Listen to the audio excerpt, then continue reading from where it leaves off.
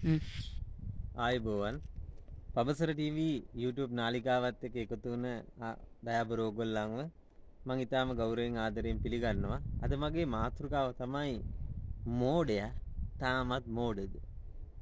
සමාජයේ ජීවත් වෙන අද කතාවට මාතෘකාව වෙන මෝඩියෝ කියන කට්ටිය මෝඩද? පොඩ්ඩක් ඒක කල්පනා කරලා බලන්න මේ පුංචි කතාවෙන් පස්සේ. මේ කතාව මම තෝරගන්නේ සංස්කෘත සාහිත්‍ය කියන උපදේශාත්මක ග්‍රන්ථාවලියෙන්.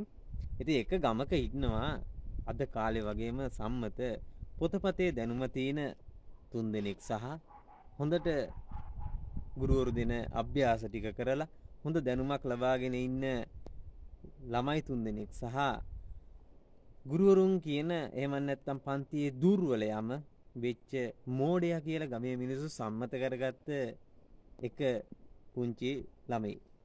එතකොට මේ ළමයි තුන් දෙනා පුංචි කාලේ ඉඳලා මේ හතර දෙනා එකට හැදෙනවා ලොකු වෙනකම්.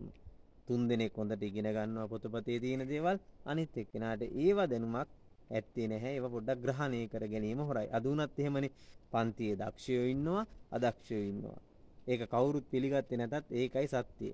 එතකොට දක්ෂයෝ කියන කට්ටිය විභාග සමත් වෙලා ඉස්සරහට යනවා අදක්ෂයෝ කියන කට්ටිය පාසලෙන් පස්සේ ගමේ ඉතුරු වෙනවා. හැබැයි ඒ සම්මතය අද වෙනකොට ටිකක් වෙනස් වෙලා තියෙන්නේ. එතකොට මේ එකට ජීවත් වෙච්ච මේ යාළුවෝ හතර දෙනා දැන් ඔන්න එක දවසක් කල්පනා කරනවා අපි පොතපතේ දැනුම නම් ඉගෙනගෙන ඉවරයි. අපි යමු වෙන කොහේ හරි දේශයකට ගිහිල්ලා සල්ලි ටිකක් හොයමු. දැන් මේ ඉගෙන ගත්ත ඇතිනේ. එතකොට එක්කෙනෙක් කියනවා මේ අපි හතර දෙනාම එකටනේ හැදුනේ. අරයට මෝඩයා වුණාට එයාවත් එක්කගෙන යමුද? කියලා දැන් මේ හතර දෙනා පොඩ්ඩක් කල්පනා කරනවා. එතකොට ඒ ඉගෙන ගත්ත තුන් දෙනා අපි හම්බ කරන එකෙන් අපි යාළුවවත් නඩත්තු කරමු. එයාටත් දෙමු කියලා අඩ ගහගෙන යනවා. මෙහෙම යන්නේ කෙඩි කැලෑවක් මැදි. කැලෑව මැදින් යනකොට මැරිච්ච සිංහෙක් සහ සිංහෙක්ගේ හමක් උගේ මස් ටික ඊට පස්සේ උගේ ඇටකටු ටික හම්බෙනවා. එතකොට අර ඉගෙන ගත්තයි කියන සම්මත පුද්ගලයෝ තුන් දෙනා මේ මිනිස්සු තුන් දෙනා මේ තරුණියෝ තුන් දෙනා කල්පනා කරනවා අපි මූට පණ දෙමු. අපි මූව හදමු. කියලා අපේ ශාස්ත්‍රය ප්‍රැක්ටිකල් පෙන්වන්න විදිහක් තිබ්බෙත් නෑනේ. ඒක හින්දා අපි අද අපේ ශාස්ත්‍රයේ බලමහිමේ ලෝකයට පෙන්නමු කියලා එක්කෙනෙක් හැම ඇටකටු ටික එකතු කරනවා. අනිත් එක්කෙනා හොඳට හැම පොරවලා මේ සිංහයා නිර්මාණය කරනවා. තුන්වෙනි එක්කෙනා මම මේ සිංහයාට පණ දෙන්නම් කියලා පණ දෙන්න උත්සාහ කරනවා. මේ වෙලාවේදී අර බලන් හිටිය මෝඩයි කියන සම්මත ළමයා පොඩ්ඩක් ඉන්න පොඩ්ඩක් ඉන්න. ඕගොල්ලෝ සිංහයාට පණ දුන්නොත් එහෙම වෙන දේ දන්නවනේ. මම අර ගහ උඩට නගිනකන් ඉන්න ඕගොල්ලෝ ඊට පස්සේ සිංහයාට පණ නෙමෙයි ඕන එකක් දී ගන්න. ඒ වෙලාවේදී අර මෝඩයි කියන සම්මත පුද්ගලයා ගහ උඩට නගිනවා අර ඉගෙන ගත්තා බුද්ධිමත් කියන පුද්ගලයා සිංහයාට පණ දෙනවා.